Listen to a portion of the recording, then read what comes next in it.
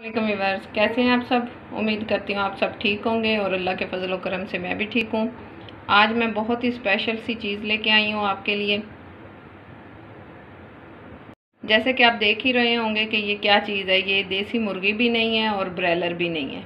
ये है मुर्गाबी, जो कि पहाड़ी इलाकों में या दरियाई इलाकों में पाई जाती है। तो मेरे हस्बैंड शिकार करते हैं तो उन्होंने ये शिकार करके मुर्गाबियाँ लेकर आए हैं।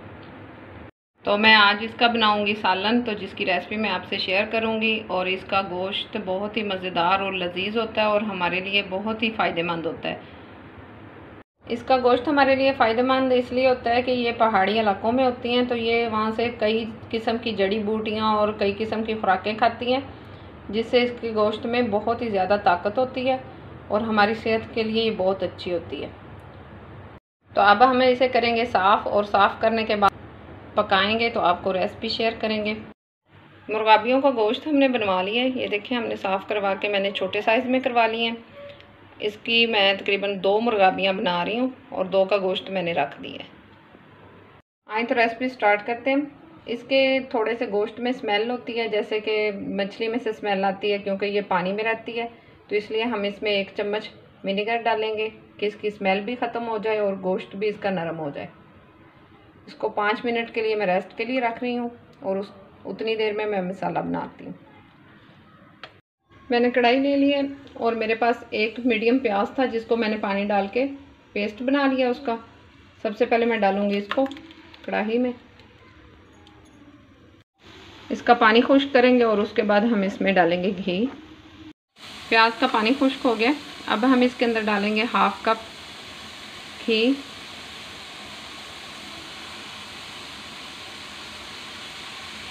और इसको ब्राउन होने तक पकाएँगे हम।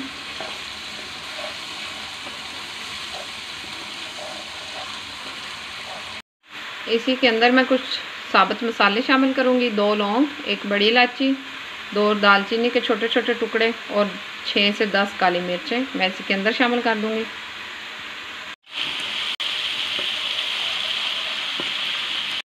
प्याज हमारे ब्राउन हो चुके हैं।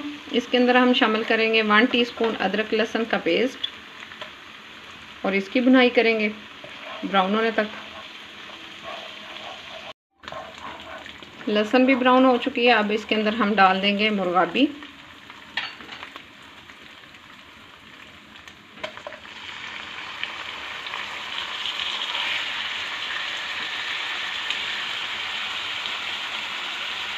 और इसको करेंगे हम तकरीबन तीन चार मिनट फ्राई।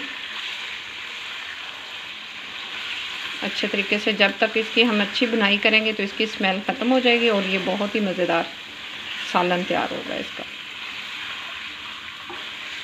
तीन से चार मिनट बुनाई करने के बाद इसका कलर अच्छे तरीके से चेंज हो चुका है। अब हम इसमें डालेंगे वन टीस्पून धनिया पाउडर, वन टीस्पून ज़ीरा पाउडर, वन टीस्पून नमक डाल रही हूँ। आप अपने टेस्ट के मुताबिक ज़्यादा कम कर सकते हैं। हाफ़ टी स्पून हल्दी powder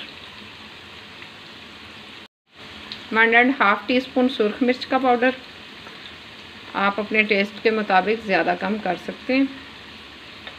अब इसको अच्छी तरह मिक्स करूँगी मैं।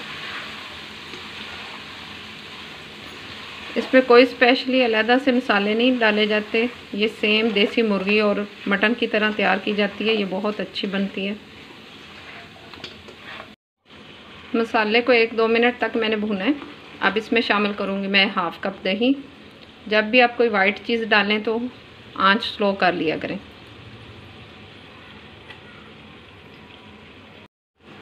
अब इसको मिक्स कर लें।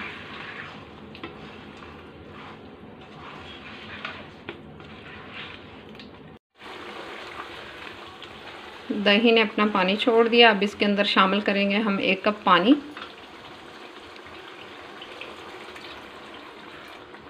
और इसको मिक्स करने के बाद अब इसे मैं मीडियम आँच पे पंद्रह मिनट के लिए ढक्कन दे के पकने के लिए रख दूँगी और उसके बाद चेक करूँगी।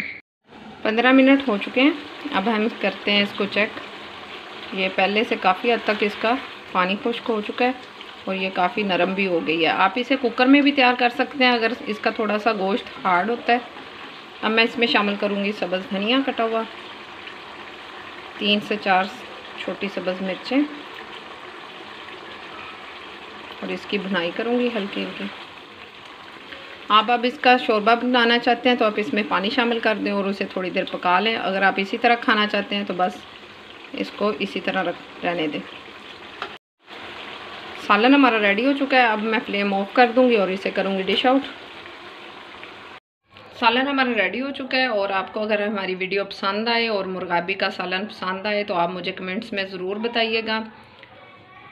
अगर आप मेरे चैनल पे नए हैं तो मेरे चैनल को सब्सक्राइब करें, बेल आइकन को प्रेस करें, ताकि मैं आपके साथ नई नई डिशों के साथ हाज़िर हो सकूँ।